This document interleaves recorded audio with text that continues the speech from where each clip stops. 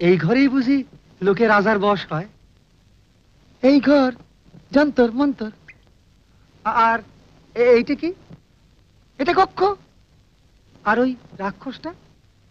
ওটা চক্ষ? ও, এই হাতলে চাপ পড়লে ওই যক্ষের মুখ দিয়ে মন্ত্র বেরোয়? আর ওই কক্ষের মধ্যে যারা বন্দি থাকে, তারা সেই মন্ত্রটা শিখে নেয়? সেটাই লক্ষ্য। Hello guys, welcome back to Tathagata for our YouTube channel. আমি তথাগত। আজ আমরা এই ভিডিওতে আলোচনা করব হিরক রাজার দেশে ক্লাইমিক দৃশ্য নিয়ে। হিরক রাজার দেশে ক্লাইমিক দৃশ্য যে কী যন্ত্র ব্যবহার করা হয়েছিল এবং এই- মুভিটিতে ক্লাইম্যাক্স দেশে কী কী যন্ত্র সত্যিকার আদৌ তৈরি করা হয়েছিল কীভাবে তৈরি করেছিলেন পরিচালক, সেই সম, সেই সমস্ত ডিটেলস কিন্তু আমি বলতে চলেছি এই ভিডিওতে। উনিশশো আশি সালে সত্যজিৎ রায় কিন্তু এই হীরক রাজার দেশে পরিচালনা করেছিলেন এবং আট থেকে আশি বছরের লোক কিন্তু এই মুভিটি ভালোবেসেছিল। এবং আমি সত্যি কথা বলছি, আজ পর্যন্ত কেউ যে, কি এমন কেউ নেই যে হীরক রাজার দেশে মুভিটি দেখেনি। হ্যাঁ সেই হীরক রাজার দেশে যে ক্লাইম্যাক্স দৃশ্যটি, অর্থাৎ শেষের যে সিনগুলি দেখানো হয়েছে অর্থাৎ ল্যাবরেটরিতে যে ল্যাবরেটরি দেখানো হয়েছে, যেখানে বলা হয়েছিল যে মস্তিষ্ক পক্ষালোক হ্যাঁ মস্তি মস্তিষ্ক পক্ষালোকে যে যন্ত্রটি দেখানো হচ্ছে সেটা কীভাবে তৈরি করা হয়েছিল? তাছাড়া একটা বন্দুকের মতন দেখানো হয়েছিল, যেখানে বন্দুকের নল থেকে আগুন বাড়বে, সেটাই বা কীভাবে তৈরি করা ছিল সেই সমস্ত গল্প কিন্তু আমি বলতে চলেছি এই ভিডিওটিতে। ভিডিওটা অবশ্যই ভালো লাগবে তোমাদেরকে, আমি আশা করছি। আর ভিডিওটা যদি ভালো লাগে থাকে অবশ্যই আমার এই ভিডিওটিতে একটি লাইক করে দেবেন। কারণ এই ধরনের ভিডিও করতে অনেক কিন্তু কষ্ট করতে হয়। তাই এই ভিডিওটিতে অবশ্যই একটি লাইক করে দেবেন। আর আমার চ্যানেল যদি নতুন থাকেন, অবশ্যই আমার চ্যানেলটিকে সাবস্ক্রাইব করে রাখবেন। আর পাশে থাকা বেল আইকনটিও প্রেস করে রাখবেন, যাতে এই ধরনের ভিডিওগুলো দ্রুত আপনাদের সামনে চলে যেতে পারে। তাহলে চলুন তাহলে ভিডিওটা আমরা শুরু করি ছোট্ট একটি ইন্টার পরে।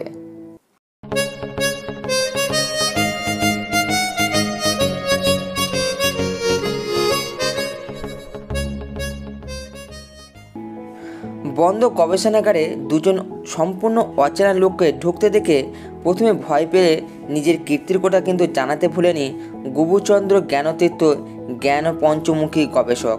নিজেই দেখেছিলেন যন্ত্রের মন্ত্র ঘরে খুঁটিনাটি। কোথায় মন্ত্র পুড়ে দিলে, কীভাবে তা যন্ত্রের মুখ দিয়ে বের হয়, যন্ত্রের কোন হাতলে কার মন্ত্র রাখা আছে, সব তিনি নিজেই দেখিয়েছিলেন গোপী ভাগাকে। কোন হাতলে চাপ পড়লে বেরেবে বাকি রাখা খাজনা মোটে ভালো কাজ না। তো কোনো রাতে বের হবে ভরপেট নাও খায় রাজকোষ দেয়া চায়। উনিশশো ষাট সালে নির্মিত পরিচালক সত্যজিৎ রায়ের ছবি হীরক রাজার দেশের ক্লাইম্যাক্স দেশে গোপীবাগা পৌঁছে যায় বৈজ্ঞানিকের আশ্চর্য গবেষণাগারে, যেখানে রয়েছে যন্ত্রমন্ত্র কক্ষ। কীভাবে তৈরি করা হয়েছিল এই ঘর?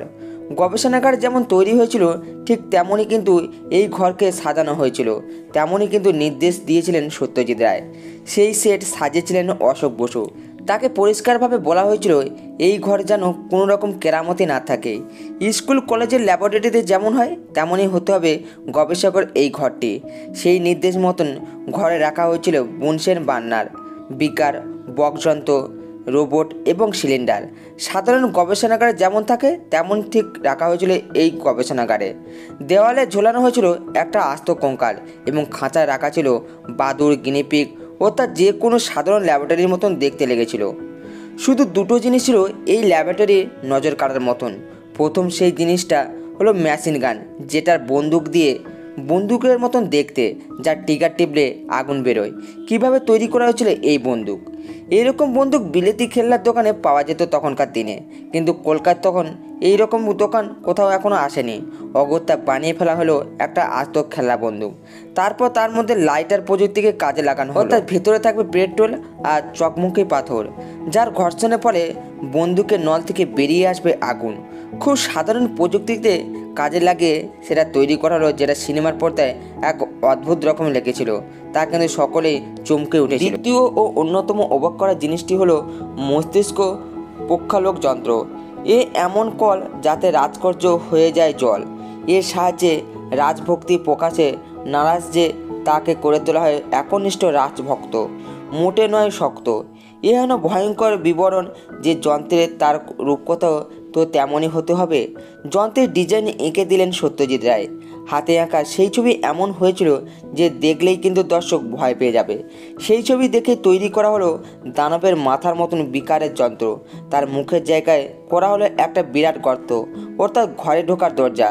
মূল যন্ত্রের সঙ্গে যোগ ছিল উল্টো দিকে থাকা কন্ট্রোল প্যানেল, যা দেখতে একেবারে ট্রেনের কেবিনের মতন। সেই প্যানেলে ছিল ছটা হাতল। প্রতিটি হাতল থেকে একটা করে তার বেরিয়ে যেত দেওয়ালে ঝোলানো ছিল। আবার দেওয়াল থেকে বেরিয়ে ঢুকে যেত যন্ত্রের দানবের মুখে। হাতলে চাপ পড়লে একটা ছোট্ট বিস্ফোরণের সঙ্গে সঙ্গে বন্ধ হয়ে যাবে কক্ষের দরজা।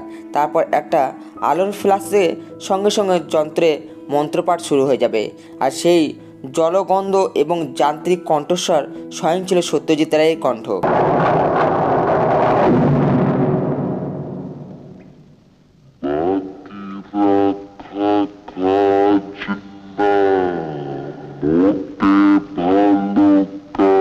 সমস্ত ব্যাপারটার মধ্যে কোনো রকম ক্যামেরার কাজসাজি ছিল না। সবটাই করা হয়েছিল খুবই সহজ যান্ত্রিক পদ্ধতিতে। আজকের দিনে যে জিনিস করতে হলে হয়তো ভিএফএক্সের সাহায্যে নেওয়া হতো। আজ থেকে প্রায় চল্লিশ বছর আগে সেই জিনিস তৈরি হয়েছিল খুবই সহজ পদ্ধতিতে।